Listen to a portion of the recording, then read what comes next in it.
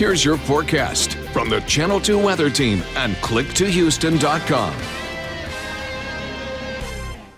Good Sunday morning, everyone. Khambrel, Marshall, KPRC Channel 2 meteorologist. We've got more clouds today than we've had, and we will continue to see that both in the Southwest Freeway. Avenida Houston camera shot here. We're going to see some rain this morning as well. The Futurecast model, this one's overdone, but it shows rain in the forecast here by 11:30 or so, and then continuing at 1 o'clock lighter when you see yellows and reds. That's heavier downpours. There's a chance for some of that this afternoon. Maybe an isolated thunderstorm along the way. Temperatures will be high again.